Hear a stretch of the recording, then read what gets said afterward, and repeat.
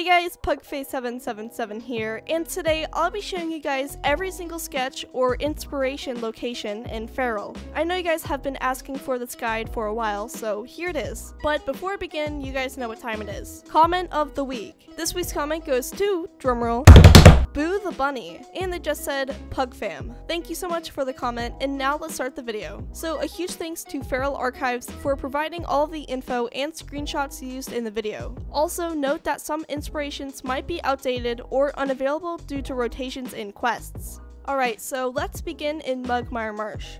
Right now, these are the sketches that you can find here. First up is the Bloodstain, and this was actually found in an earlier quest, so you might not be able to get it at the moment, but if the quest does come back, you will find it on the door of a hut to the north of Spawn. Next is the Broom. This one is located next to the NPC Scald at Spawn. The Dark Skull is located in the Swampside town on a giant mushroom. The Fertile Soil is found in Sporeville in a quote, small mutant chicken coop. Feral is just so strange sometimes. Okay, next up is the Golden Leaf. This one is located in Sporeville on a huge tree. Then we have the green egg. You can find this one on a mailbox with the mutant chicken. Latchkey's gear is located on a rock next to this creepy looking statue. The menacing spike is found in the swampside town behind a hut. Next is the mossy sword which is found in the waters of Sporeville. Finally, we have the rose which is found in the middle of this swampy area next to some rocks and a large mushroom.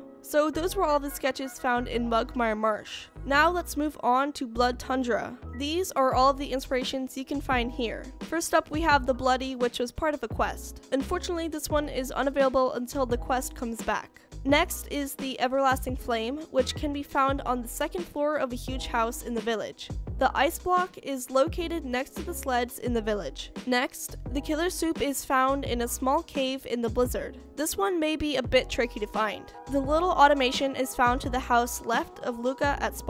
The Peering Eyes is located in a broken down building just north of spawn. Not gonna lie, that one is pretty terrifying. Next is the Sootstone. You can find this one in a narrow pathway found in the blizzard. This one is also pretty hard to find. The spring water is found next to the skull in this little blood pond. Next, the succulent fruit can be located in the oasis behind a waterfall. Finally, the Twiggle Soul is found in the small gravestone in the middle of the blizzard. Rip Twiggle. Those were all the sketches found in Blood Tundra, so we can move on to the last land, which is Lake Root Valley. These are all of the inspirations you can find here. So first we have the Bubble Stream. You can find this one in the river on the west side of the map. The next one is the Cat Charm, and you can spot it on the side of this small building. The Cheese Wheel is located next to one of the houses in the Arrow Peak village. The Cosmic Pearl is found in the river on the east side of the map.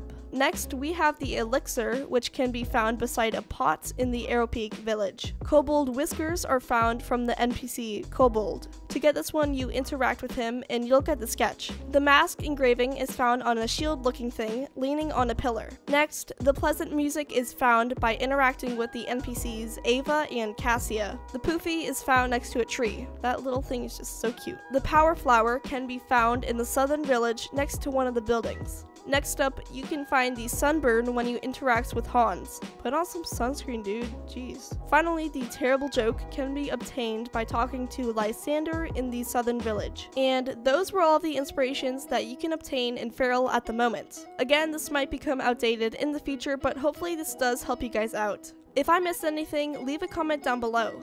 And if you enjoyed this video, please leave a like and consider subscribing to show your support. Alright, I'll see you guys in my next video, and as always, stay big, stay awesome. Bye!